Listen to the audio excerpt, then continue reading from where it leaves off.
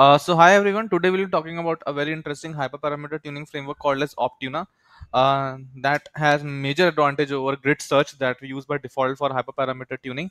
Uh, so in this particular video, we will be going through a uh, small demo on how Optuna works and we will be comparing its result with a model which uh, which is using default parameters. Apart from that, in the towards the end, we'll be discussing a few differences between grid search and Optuna and why Optuna is better than grid search. So let's get started. So first of all, we'll be importing all the required libraries, pandas and scikit-learn majorly, the metrics and the model selection part. The model that we would be uh, tuning would be support vector machine. So uh, first of all, we'll be loading this dataset train.csv. The train.csv file is a Titanic dataset that we are using, which is present in my local. Now this particular section I'm skipping, which is majorly around pre-processing the whole data and transforming the data. In the end line, you can see that we are we are splitting the train and test parts so that we can analyze the results over both the models. So first model that we are training is with default parameters kernel equals to rbf c equals to 1 gamma equals to auto. Then we fill it. Then the we are fitting the model and then eventually predicting the results for the test data set. So you can see that the results are around nearly 70% accuracy. That's not bad. Now the next thing that we are doing is that we would be using optuna for hyperparameter tuning. So let's understand how Optuna is getting used and how it is different from grid search also. So in grid search, I, uh, if you remember, we can go for a disc, uh, only discrete value search. So it is not continuous, but in case of Optuna, you can provide uh, many methods. Allow, apart from that, it is also continuous. So uh, it is not taking discrete values in the as parameters, hyperparameters, but it can con uh, consider continuous values as well. Apart from that, it also uses parallelization and optimization techniques, making it more faster as compared to grid search. And hence like even if you like just check out the difference between grid search and optuna so it is majorly mentioned that when you're using a very simple model uh, you can go with grid search but optuna is the real king. So eventually uh, if you try to use optuna for most of your uh, models uh, you would be getting better hyperparameters. So let's understand how optuna is getting used in this particular project. So by default we see that with using default parameters we got accuracy of 70 percent.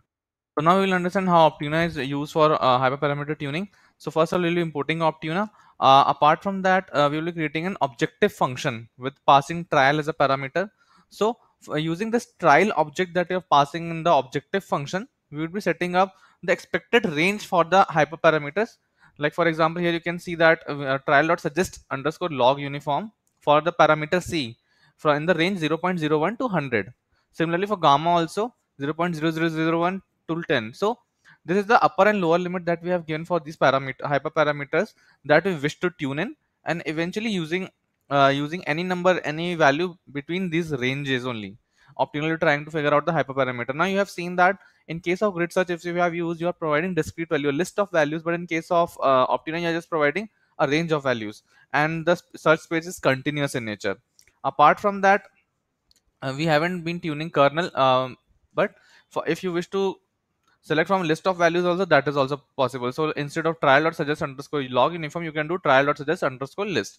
So uh, using that you can tune almost all the three parameters uh, in support vector machine using optuna. Then you are doing the same thing model dot fit predicting the results and returning the accuracy.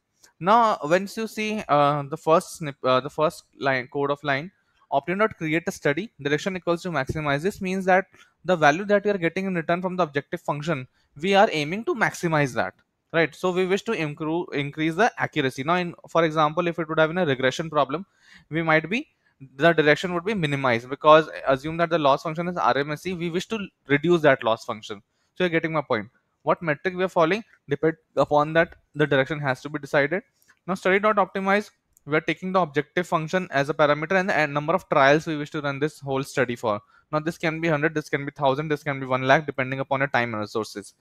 So after once you execute this here you can see that you are getting different studies. Trial 0 finish with values 0 0.71 0 0.78 0 0.58 so you can see that what are the parameters optuna used and eventually what is the score for that particular trial with that parameters.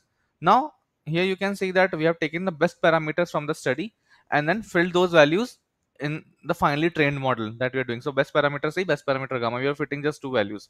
Now if you go down, we can see what were the best parameters. You that was C equals to 96 and gamma equals to 0.003. And accuracy has jumped from 0.69 to 0.81. That's a big, big jump. So here in this particular video, you saw how Optuna can be used how optuna can be used for training model optimizing uh, for getting the hyperparameter for any model that we wish to train and how uh, optuna is even better than grid search as well in terms of latency in terms of the quality of results that we might get in terms of uh, flexibility as well. So it is able to incorporate both continuous and discrete search spaces but not with case of grid search. So any day it is a better option as compared to grid search